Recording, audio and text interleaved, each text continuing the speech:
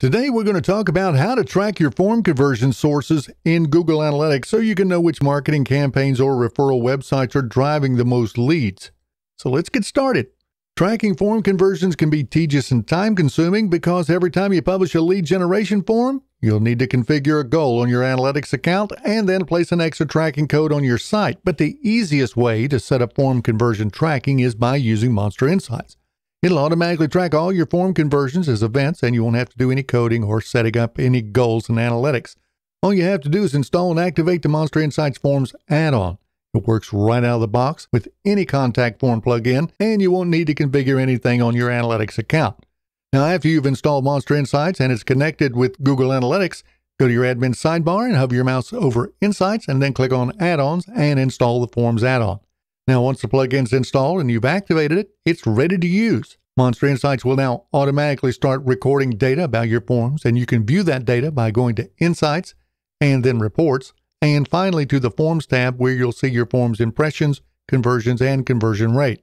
If you'd like more information about how to track your form conversions, be sure to check out the link that we've left in the description.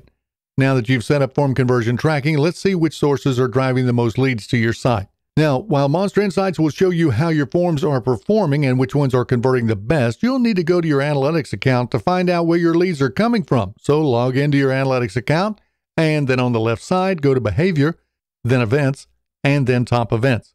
Now here you'll see your forms has an event category, so click on form. Next, you'll see an event action and the total impressions and conversions. So since we want to view the source, we'll need to click on conversions. Once you're there, you'll see all the forms that were submitted by your visitors. So click on the form that you're interested in finding the source for and click on the secondary dimension drop down menu and select source medium. Now the options available under acquisition, but you can also type in source medium in the search bar. Now this is going to show you all the sources like Google Organic where visitors came from and completed your form. And you can go a step further by using an advanced filter to break down your data even more. So for example, if you're only interested in traffic that other websites are sending you, then you can use an advanced filter. Now to do that, click on Advanced next to the search bar and then select Include, Source Medium, and then Containing, and then enter Referral in the last field.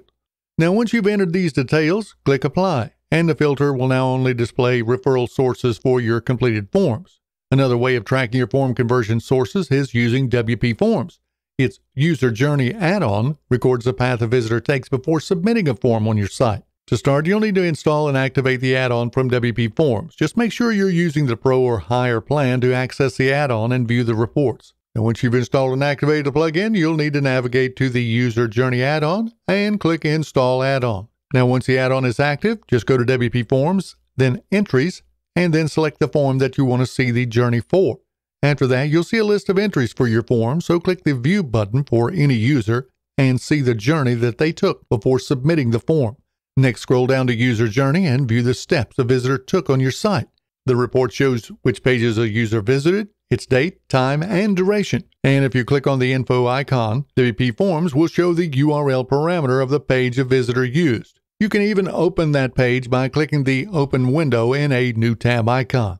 You can use all that data to find new partnership opportunities with sites that are sending you visitors that are completing your forms and perhaps strike a deal to generate even more traffic. Or you can use this information to identify the best channels to promote your campaigns and adjust your marketing budget accordingly to get the best results. With Monster Insights, you get the stats that matter, so see why it's used by over 3 million websites and be sure to check out the special discount by visiting the link in the description. Thanks for watching, and don't forget to subscribe for more tutorials, explainers, and helpful content like this. We'll see you next time.